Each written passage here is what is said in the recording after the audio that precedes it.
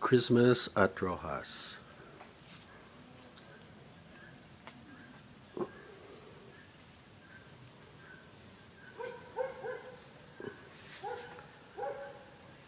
This is where I spend my Christmas every year.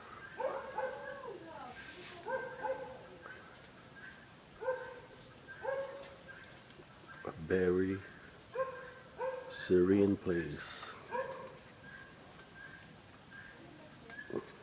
Look at that.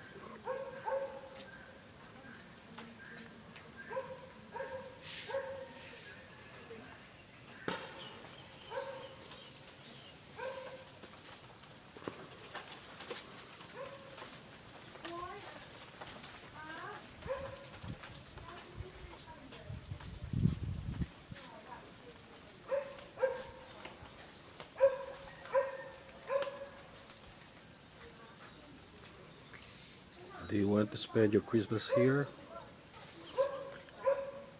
I love it.